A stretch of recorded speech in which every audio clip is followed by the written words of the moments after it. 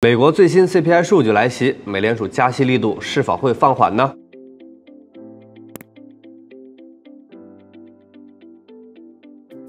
大家好，欢迎收看本期 Go Markets 热点话题解析，我是 Rick。在澳洲时间的十月十三号晚上的二十三点三十分，即将公布美国的最新一期，也就是九月份的 CPI 数据。经历了这么长时间的一个加息周期啊，大家一定都知道了 CPI 的重要性。那么 CPI 啊会直接影响到美联储的加息决策，以至于影响到美元、美股以及黄金、白银等等这些大宗商品的走势。那么在数据公布之前，我们就再来大胆的分析一下此次 CPI 数据的一个趋势。上图啊是从2021年8月至2022年8月间 CPI 与核心 CPI 的走势。那不难看出，从 CPI 在2022年的六月达到最高点百分之九点一的水平之后呢，出现了一个缓慢的下降。那目前啊是仍然维持在百分之八以上，并且从原油的价格走势来看，CPI 下降的主要原因还是要归功于原油价格的回落。但是啊，反观红色的这条核心 CPI 的曲线，很明显啊，从今年的六月份之后啊，核心 CPI 不降反升，那这就说明。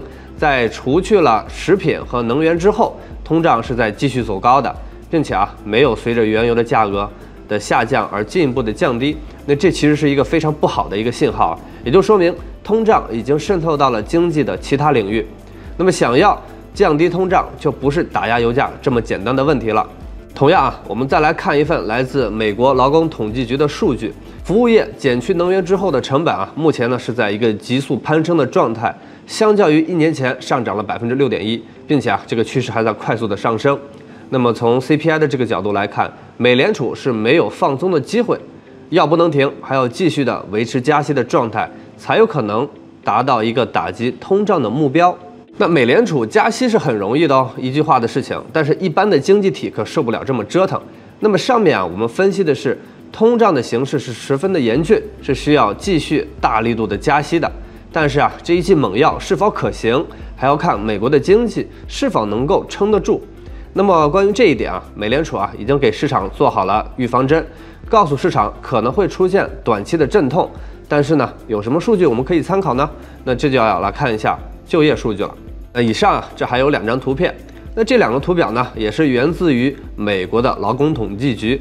表一啊是有关于失业率，表二呢是有关于美国的非农业就业人口的数据。我们先来看一下失业率啊，在二零二零年的三月份之前呢，也就是在疫情发生之前，美国的失业率是稳定在百分之三点五到百分之三点八左右啊，没有超过百分之四。在疫情之后飙升到了百分之十四之上，但是啊，随着美国政府的各种放水的政策以及刺激的方案，失业率稳步的下降。可以看到，在二零二二年的三月份之后啊，失业率就保持在百分之四之下了。到现在半年的时间呢，是基本稳定住了，恢复到了疫情前的一个水平。我们再来看一下就业人数啊，其实啊和失业率的走势是非常吻合的。那目前呢，就业人口已经恢复，甚至超过到了疫情前的水平啊。那么综合这两张啊有关就业的数据呢，答案已经非常清晰了，美国是有继续加息的底气的。那并且啊现在也需要加息，所以如果此次的 CPI 数据啊微微下降，甚至不下降。核心 CPI 继续上升的话，那市场大概率会继续压持美联储继续维持七十五个基点的加息力度。那么按照这个思路来推演，我们可以看多美元指数的思路是依旧有效的，并且啊，市场也证明了美元依旧强势。那从此啊，也可以推演出关于美元相关的一些货币对儿。